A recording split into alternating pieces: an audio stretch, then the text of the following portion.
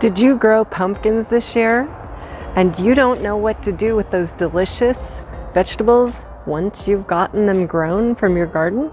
In today's video, we're going to show you ways that you can take the pumpkins that you've grown in your garden or even the jack-o'-lanterns that your kids carved for Halloween and turn them into delicious desserts for the holidays. Stay tuned.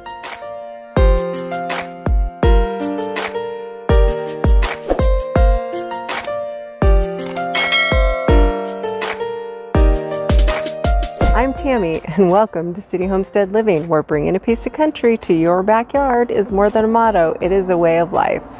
It's chilly out here and this morning you could say that the frost was literally on the pumpkin.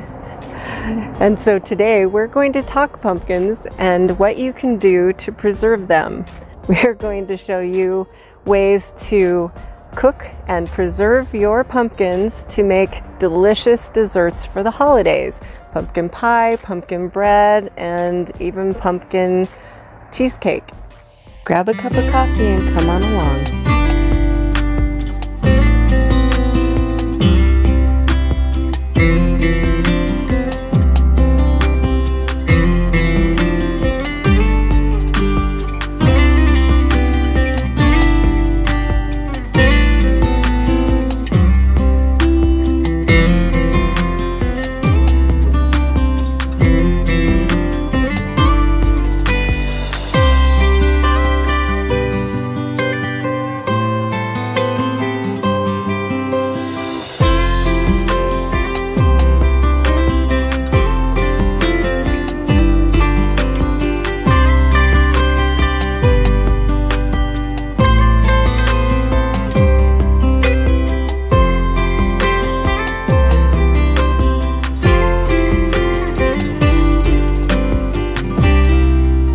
Jack-o'-lanterns are done, so we're going to remove the guts from our sugar pumpkins.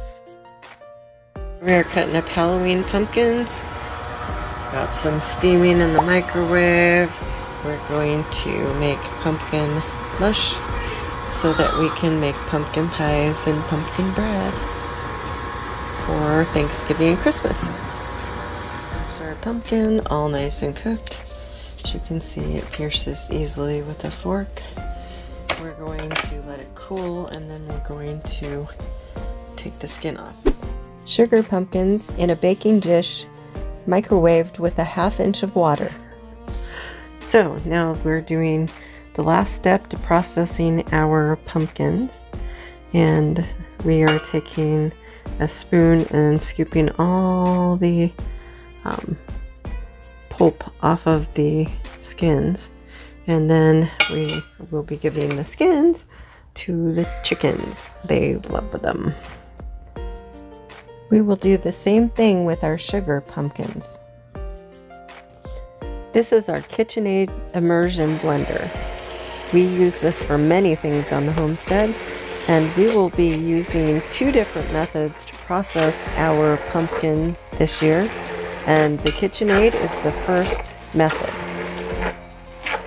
Makes it quite smooth.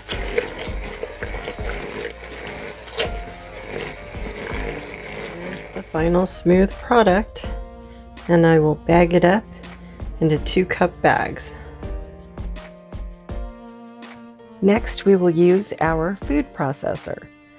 This takes additional dishes to wash although it does leave a nice creamy product. So here I'm putting them into small bags and putting two cups in them. I'm using my funnel, fits perfectly in there. And then I don't get goo all over the zipper. Here we are, all labeled and ready for the freezer.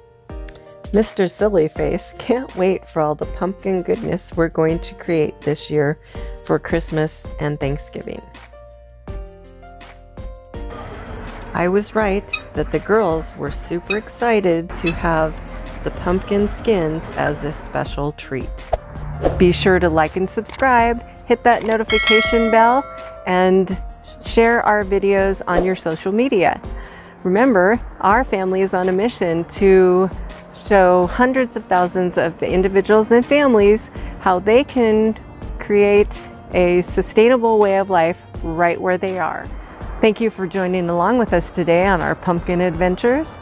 And as always, happy homesteading adventures.